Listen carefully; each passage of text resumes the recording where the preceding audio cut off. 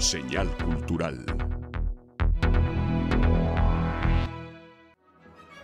Les Ballets de Monte Carlo se presenta por primera vez en el conjunto de artes escénicas los días 5, 6 y 7 de octubre en la Sala Plácido Domingo con El Largo de los Cisnes.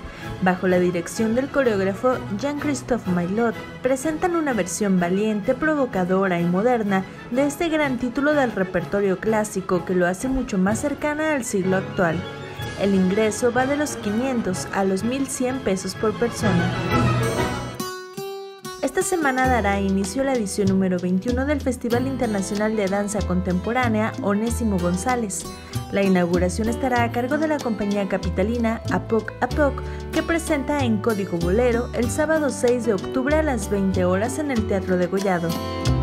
Mientras que en la clausura la compañía francesa Soul City presentará Prières y Prières el 13 de octubre a las 20 horas en el Teatro de Gollado y el 18 de octubre a las 20 horas en el Auditorio Agustín Flores Contreras en Puerto Vallarta. Destaca también la participación de la compañía Vertigo Dance de Israel que presenta White Noise el 10 de octubre a las 20.30 horas en el conjunto de artes escénicas.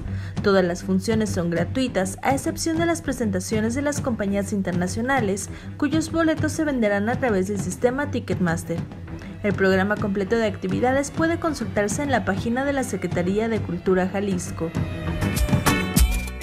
En su edición 2018, Epicentro Fest sonará con los ritmos de Bomba Estéreo y Los Amigos Invisibles. Además, Me de Colombia y las bandas mexicanas Ruido Rosa y Girl Ultra también se presentarán el próximo 6 de octubre a partir de las 18 horas en el foro de Palcom. La entrada es gratuita con boleto.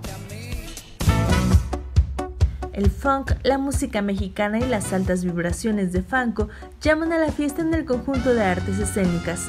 Con un nuevo sonido y una puesta en escena tonificada, la agrupación liderada por Jaf Lara, Tibu y Chemin Santillanes llegará a la sala 3 del flamante recinto para presentar un concierto en el que tocará las canciones de su nuevo EP Volver al Futuro, Otro Futuro, en esta nueva aventura musical, la banda Tapatía retoma algunas de las canciones más populares de Plástico, proyecto que Jafo y los hermanos Santillanes encabezaron en la década de 2000, para darles una nueva sonoridad e inyectarles la energía que ha nutrido a Fanco desde su concepción.